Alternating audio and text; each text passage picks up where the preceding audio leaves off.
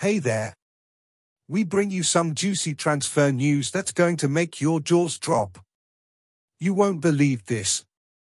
Rumour has it that James Maddison, the talented Leicester City midfielder, is set to leave his team at the end of the season, regardless of whether they survive relegation or not. That's right, folks, you heard it here first.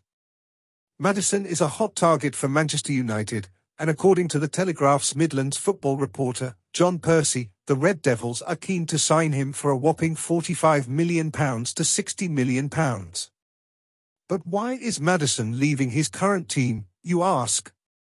Well, it seems like Leicester City has been struggling to rebuild their squad in recent years, and the club is in need of cash to balance their books.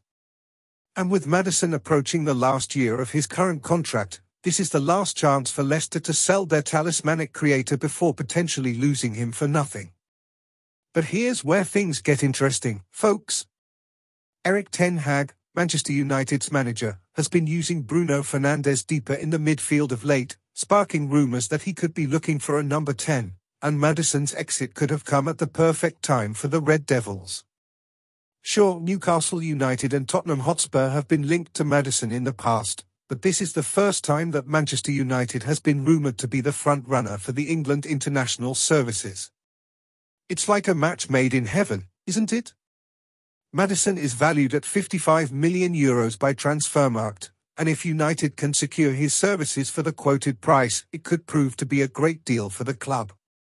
The Foxes are not likely to let him go for a bargain, so we can expect some serious negotiating to take place. Leicester City has already revealed record losses of £92.5 million in their financial accounts earlier this year, and they can't afford to lose another valuable player.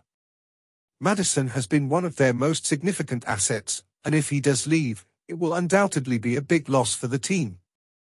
Dean Smith, Leicester's interim manager, has compared Maddison to Jack Grealish, who he managed at Aston Villa. Smith suggested that there is a similarity not just between the two players but that both have been his generals in relegation battles. Grealish eventually left Villa for £100 million to Manchester City, and we can only imagine what kind of impact Maddison could have at Old Trafford. So, what do you guys think? Will Maddison make a move to Manchester United this summer, or will he stick around with Leicester City? Let us know in the comments below. Don't miss the chance to like and subscribe, for we are uploading news at any time, every day. We'll come with more Manchester information very soon. See you later.